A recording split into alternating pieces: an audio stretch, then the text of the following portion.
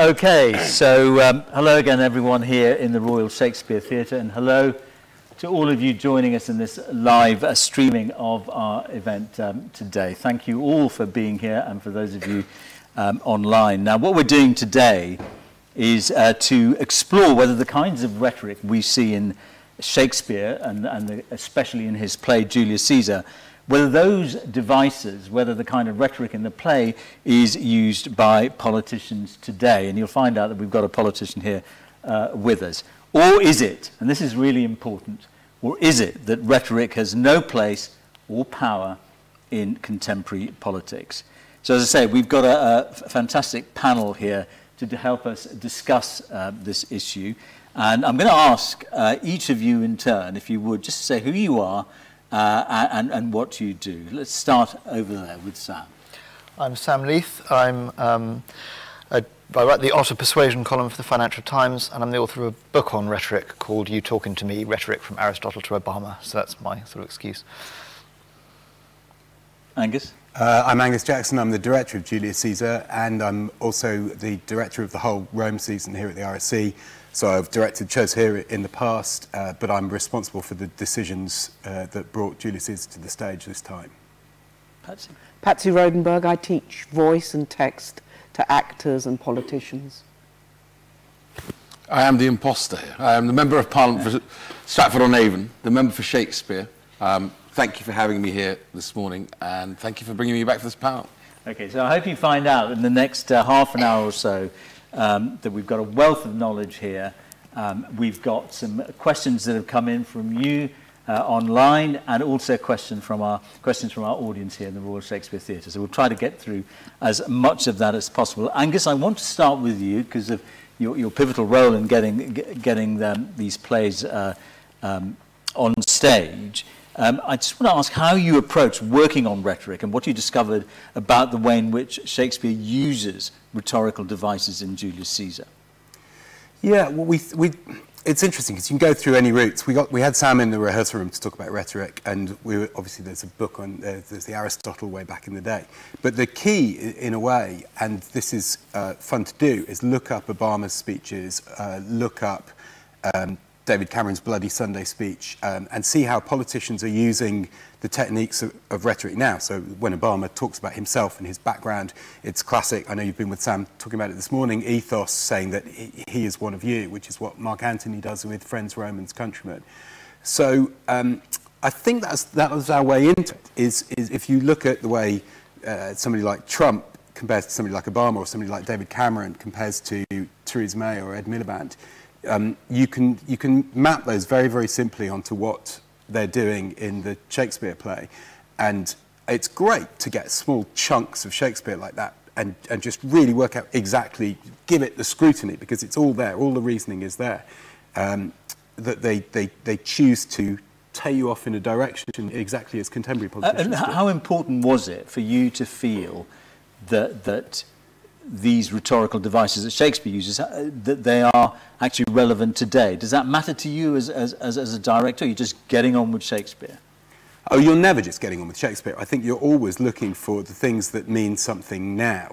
Uh, uh, uh, that we can recognize. When you recognize when he gets his wife up on stage and talks about her being barren in front of everybody, that it's um, a brutal thing to do to somebody who, who you're married to, or you recognize when Mark Antony turns during the course of his speech to saying, you're all going to benefit, we, Caesar's left you lots of money, so you have to be on his side because you're his heirs. And it's, it, it, the thrill of, of recognition is what you're looking for when you're putting a play on. Okay.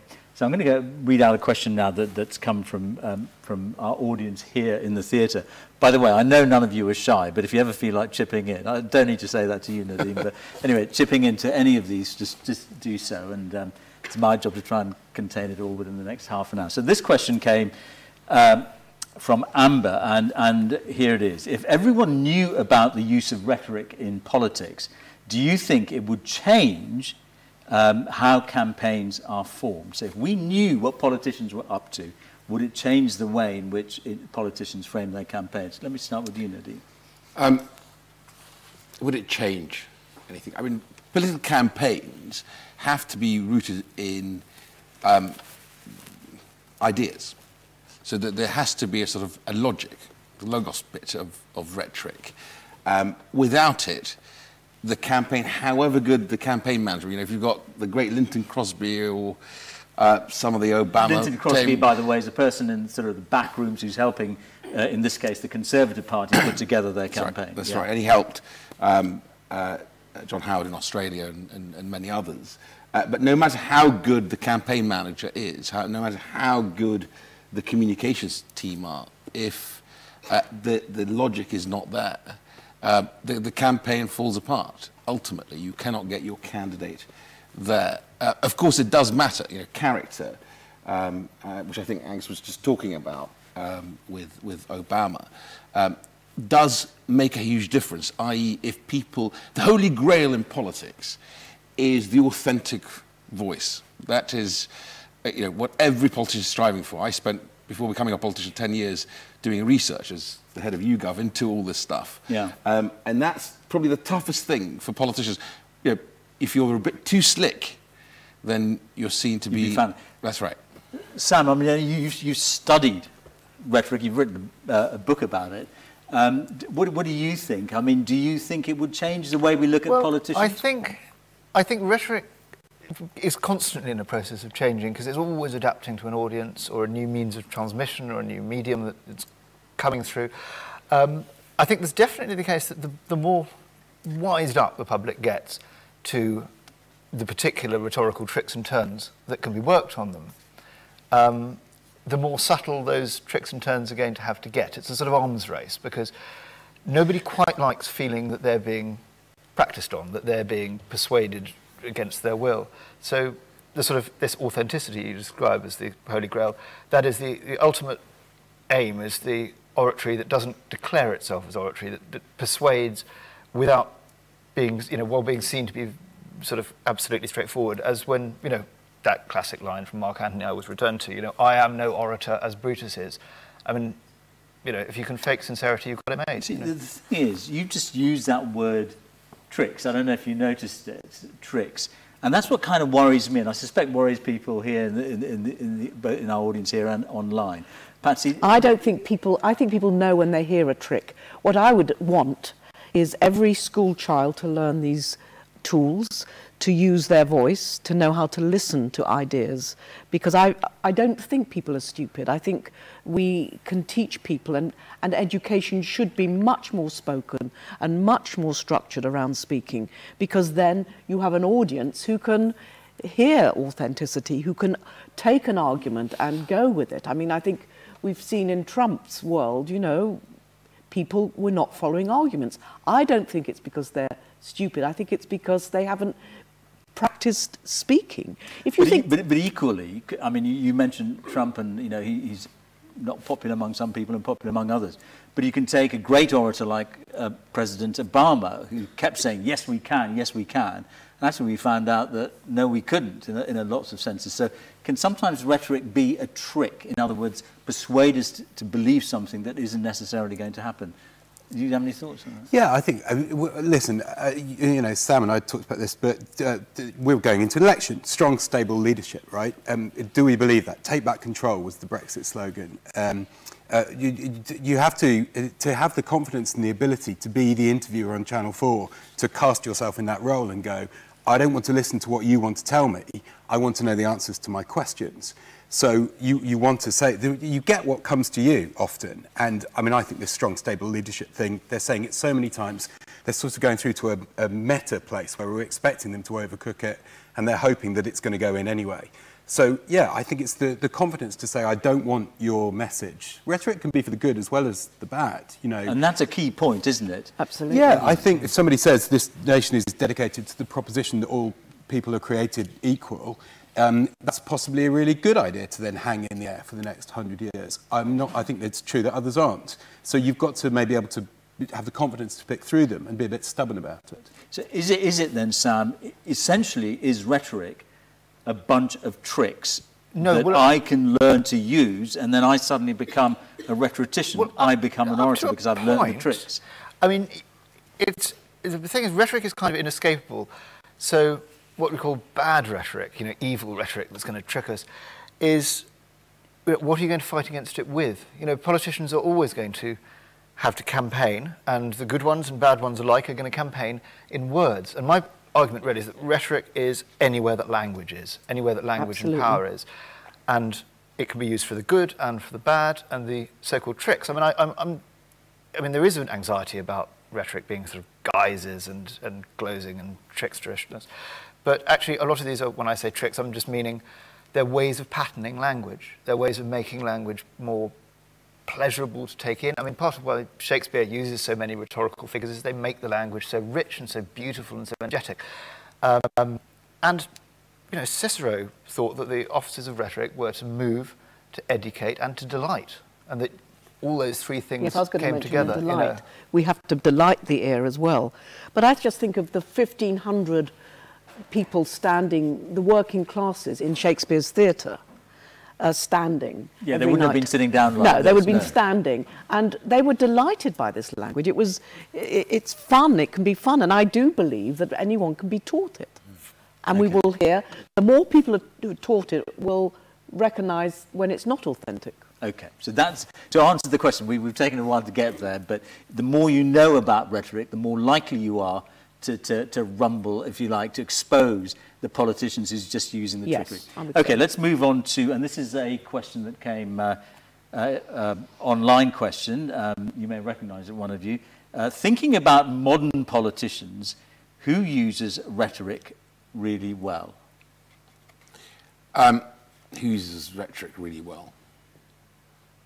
Hilary Benn, when he delivered that speech. you better just tell our So Hilary Benn was, was the shadow foreign secretary when we had a very important debate in Parliament about Syria and whether this country should get involved in the conflict in, in Syria, whether in fact this country should bomb Syria. Would that be fair? Yeah, and he was in a different place to his own leadership. Uh, and he closed the debate. I have to say, it was one of those moments, I still now, when I talk about it, I get goosebumps at the back of my neck, where you feel privileged to be in the chamber, to hear such extraordinary oratory. Okay, so Hilary Benn, that's one. And um, I, actually, I, I heard the speech, I watched it because I had to report on it uh, on the news at six, uh, and it's really worth trying to, to pull up um, when you, when you get, um, get, go online. Well, I think Obama is a wonderful speaker. And I think he's, he started to really speak from himself and not rely so much on speech writers. And suddenly that, that door opening, he was a wonderful, he is a wonderful speaker. Now, you said something interesting there. You've chosen Obama because he spoke for himself. Well, from himself. from himself. From So- himself, the authentic voice. Okay. There's no mask on him. He comes and he has the, the courage to be not only logical, but moral. So, so rhetoric isn't just about Sam's devices, you know, breaking it down and seeing how you how you structure. It's a- a channeling speech, something. but, but it's also yes, got it's to be authentic. It's got to be authentic. I mean, the only problem here for politicians, and it, this applies to Obama, as I think it did to Tony Blair. I think you know Tony Blair was very much sincere in his you know first campaign in '97. We're 20 years, I think, to the day when he won that election. Um, you know, I don't think he went into Number 10 Downing Street thinking that I want to you know make really bad decisions. As for Obama, Well, that's an argument. There's and- an argument and- about well, whether they I was were about- bad I was That's a rhetorical but, device. but, but I, but I come to, to, to, to my point here. As with, suppressed with premise. Obama, with the, with the red line on Syria, um, you know, both politicians eventually have to hit the brick wall of decision making, and sometimes those decisions don't go so well. Okay. And actually, the rhetoric then plays badly in Syria to the Syrian people, for example. I, I guarantee you, they wouldn't see Obama as being, um, you know, honest and sincere and speaking for himself when he spoke about the red line. So actually, the, the, the thing about the red line, I don't know how many of you know it, but when President, when Barack Obama was president, he said if the Syrian government used chemical weapons, that would be a red line. If you do that, then that's something the America will have to intervene about, will have to take action, and he didn't. I mean, what's interesting about what you said is whether something is good rhetoric or bad rhetoric kind of depends on where you stand, doesn't it, in an argument. So what was at the time seemed good rhetoric to us here turned out to be bad rhetoric when It could also saying- be about context and temperature. I mean, going back to Julius Caesar, I mean, the, the mistake that I, I think Brutus makes is that he addresses the, the crowd in prose, which is less formal. It's like the best man making a, a speech at a wedding that is not quite appropriate. He didn't quite get the right, he didn't quite get the right tone. And then, but, but then Mark Antony brings the whole thing up into verse. And that is very powerful. And I think that I'm standing with Obama, but I think sometimes he might have got the, that context wrong. But I still think, you know, I think it's a really great leader who should allow, who couldn't allow a tear to come down and with Sandy Hook, the, ki- the killing of those children. His heart, very few people. He wasn't afraid to be emotional. Yes, and then they were. Then he was. You know, people were laughed at him, but I think that's an amazing moment. Of course, 20 children. are- You should have somebody that shows their feeling. Angus, you, do you have a Uh, favourite politician? I, well, he's absolutely he's not my favourite politician, but I think David Cameron's Bloody Sunday speech is worth looking up, and it's interesting because it's something that had gone on. This inquiry had gone on, uh, you know, Just in a nutshell, tell us what Bloody Sunday was. um, uh, in a nutshell, some uh, uh, paratroopers, uh, soldiers uh, working on behalf of the British government went into uh, Northern Ireland, which was a where they, there were um, riots, which may or may not have involved weapons on behalf of the, um, the, the Northern Irish people. And uh, lots of them were, several of them were killed, including some uh, young people. And the inquiry that went on for years and years and years, this event predated David Cameron being an MP, Prime Minister, or even an MP. And the inquiry came out, and it basically, without using the word murder, it said that, um, that the British government were responsible and that it, that it was a woeful and regrettable, I can't remember the exact words, event. And as I understand it, David Cameron was given a speech by his civil servants, by his speechwriters, uh, to look at over the weekend to deliver, and that he decided to make it very much about. Uh, he, he set that on one side, as I understand it, and he made a speech and he talked about how the events had happened before he was in power and how what, what was he supposed to do. And he said, you, if you're looking for the word murder in this inquiry, uh, you won't find it. And then he found a way, which I'm not going to attempt to try and find exactly the words that he used, but please look it up, it's fascinating, to take responsibility and apologise. And it was, it was, it was played out to screens uh, in the community where these lives had been lost oh, many, many years ago. And they, they, there was the huge, uh, their response was palpable. And if you think of some of the things we have to deal with in terms of whether or not we apologise for things that the government have done, and it goes on and on and on. Are we going to apologise for uh, slavery, for example? Um, the line that he walked and the way he humanised the argument through himself, and I think without question, he would have regretted the. I think we all regret these events without question, and the way he found to do it seemed to appeal to everybody. That was really clever. And, and, and it's a universal thing, isn't it? The question of, of how do you account for something that went on in the past? What language do you use to explain what went on, to apologise? You know, it's, whether it's the Australians with the indigenous people, whether it's the Afrikaners uh, with, with black people in South Africa, whether it's, it's Canadians and First Nation people, you have to find the right language. I mean, it's, so it's David Cameron in this instance, but it, it's something universal. Um, Sam. Well, I, I'm slightly in the, in the Obama camp as well. I don't think there's been anyone quite like him, um, except I think there is a distinction to be made between the good rhetoric and bad. I mean, I come to this mostly as a sort of literary critic, really, and so when I say, oh, I love Obama as an orator, that, orator, that's kind of a literary judgment. But of course, actually, rhetoric is an instrumental art, and it's how it works. And does it work? Um, you know, and you can be ugly but effective. And I think that there's an, you know, this sort of antithesis thing. You know, as much as I would like to spend my time studying Obama, actually, why is Donald Trump's rhetoric working when it doesn't seem to follow, in some ways, many of the traditional kind of canons of oratory? It's not well put together. But there's been really interesting work done by some linguists, actually, on that style he's got of never quite finishing his sentences and allowing the audience to complete them that produces a kind of dialogic ethos appeal, much like a stand-up comic. And there's a, you know, we all go, oh, that man can't speak. And you go, well, he, maybe he can't speak, but he's won an election. So he's doing something right. And I think that's I'd be, I'd be interested, um, just why don't you think about who, because I suspect your answers might be different. If you've got a favourite politician, or it doesn't have to be a politician, actually, be a musician or whatever, who you think uses language really well, let me know. I, I won't put you to the test right now, but I might come back if, we, if we've got a moment. Let's move on now to, this time it's a question that came uh, from the audience here. It's uh, from Isabel. Um, how good a substitute is Twitter, um, stroke social media, for rhetoric in the traditional sense? And um, example, Trump, President Trump is very vocal on Twitter. Does this help or hinder him? So, in other words, social media, Twitter, um, is, uh, is, is that now a substitute, the 140 characters or whatever, a substitute for the great speech?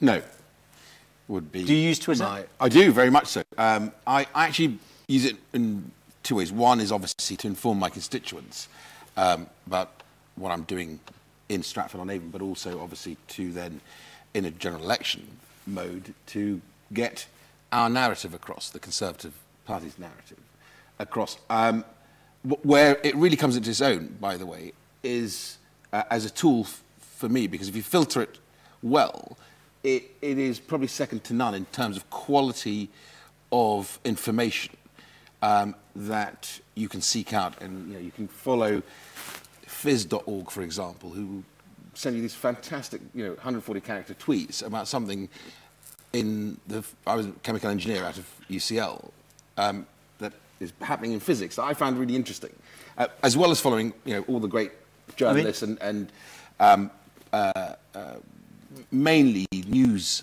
um, uh, uh, platforms. So, so it's both. So, so, it gives me, it keeps me current. Uh, you, know, you know, I can walk into a meeting and I, I will know whatever's happening.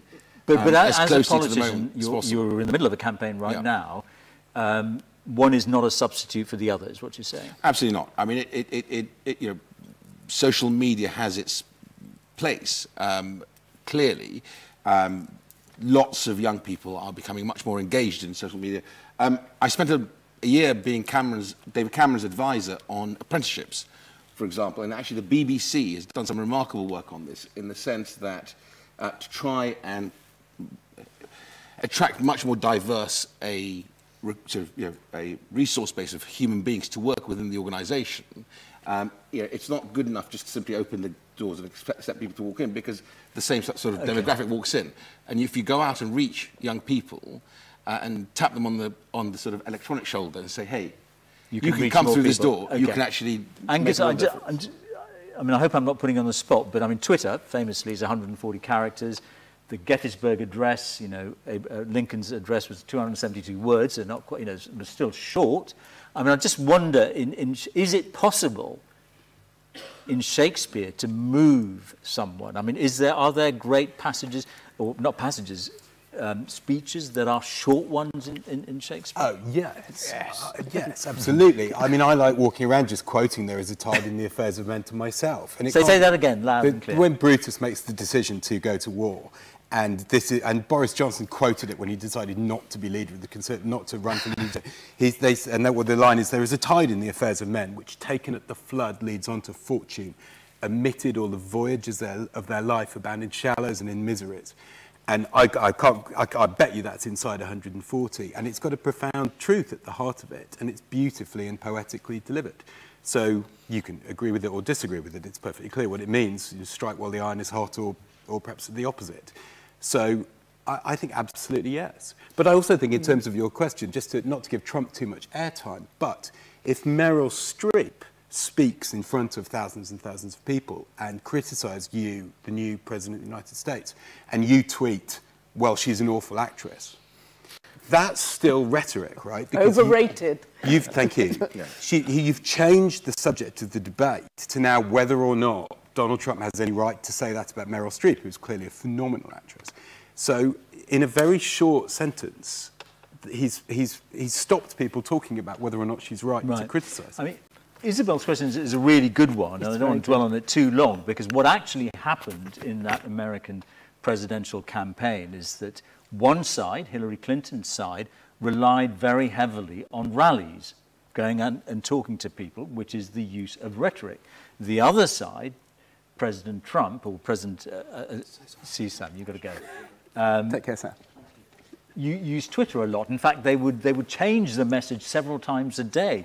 They would direct Twitter messages to different people at different times of the day. So it's quite interesting um, why Isabel's questions. Su- but it can be used for good. It's like it's, it's like rhetoric, you know, paradox.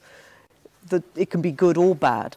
I mean, what I think, what, what happened with Trump is that he did silence with Twitter, and you you make a, a very complex argument simple, and maybe you could say part of the reason why people enjoyed his Twitter is that they had felt they'd lost expression. Right there, there is something about people having lost their voices.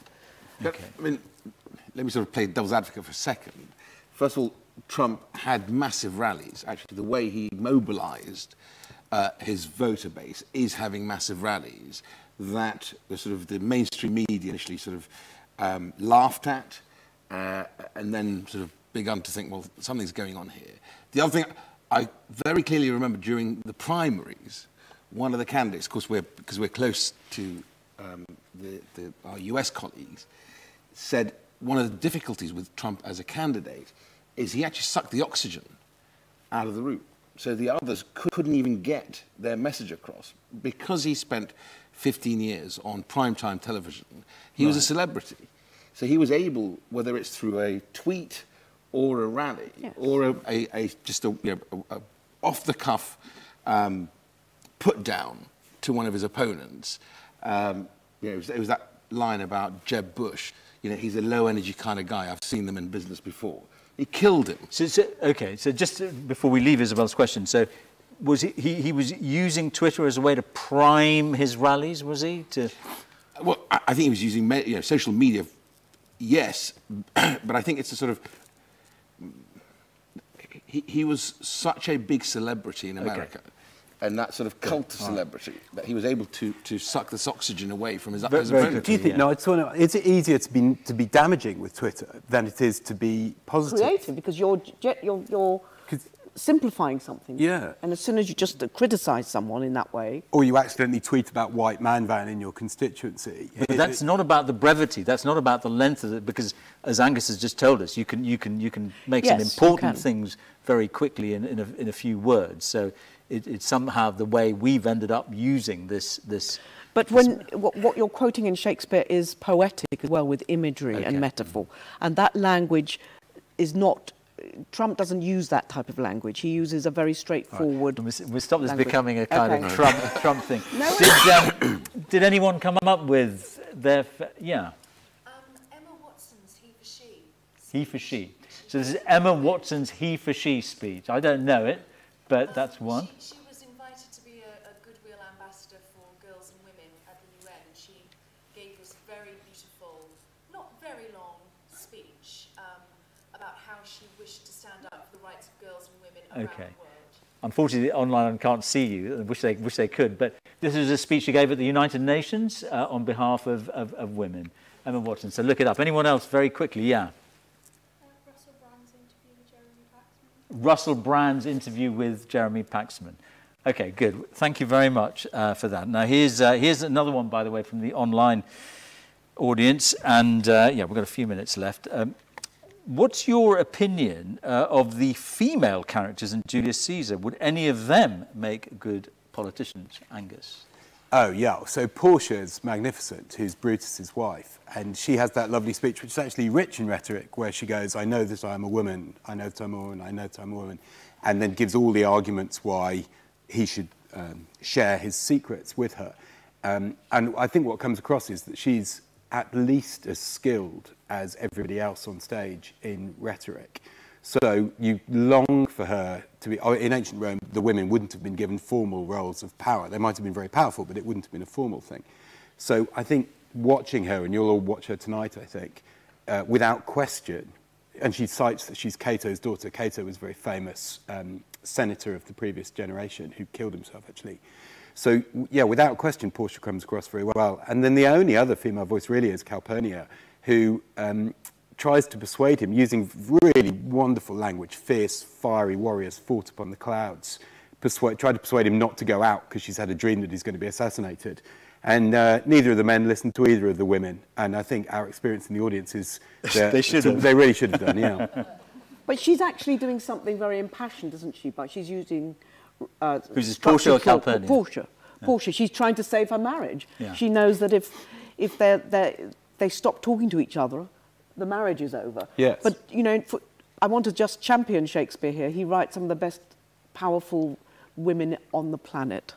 Not only, not necessarily in Julius Caesar, but women that come in and save the day and use language brilliantly.